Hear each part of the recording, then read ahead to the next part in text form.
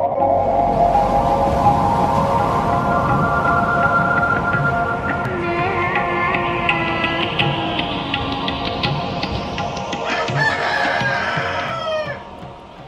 we're all packed up.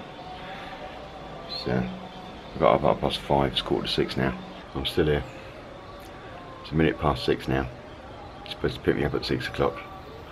Um, I've just looked down to where he lives, which is through the jungle, and I can't see any lights on. So I think he might have overslept. As you can see, the sun comes up quite quickly here. I think I'm on the right bus. Been told to stay on it. We're at the bus station now. Uh, town. Don't know where it is. I've got to change in about 40 minutes time. Get off the bus, get another one. Not quite sure where. it's all a bit up in the air really. Buses. On the bus to uh, Arugam Bay, which is on the coast, on the east coast, but down the south. It's going to be a little bit warmer there than it was up in the hills.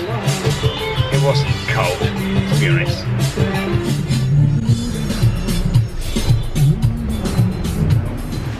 Welcome to Arugam Bay in Sri Lanka. Uh, I'm staying in uh, the beach hut on uh, Panama Road. I'll show you around in a minute.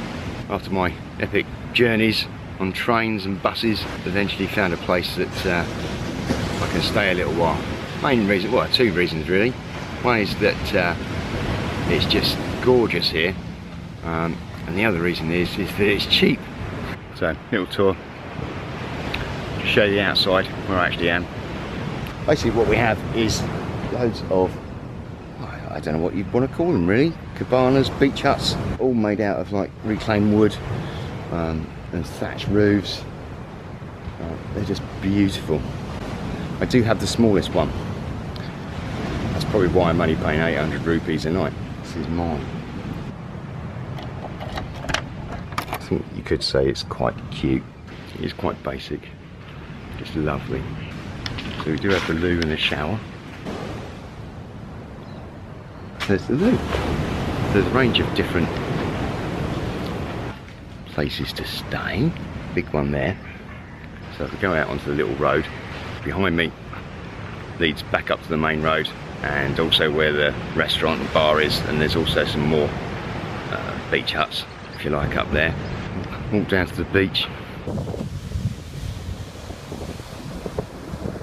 So this is the main road. Road I think it's called. Still looking for somewhere to eat. I thought I'd walk along the beach rather than walking along the road.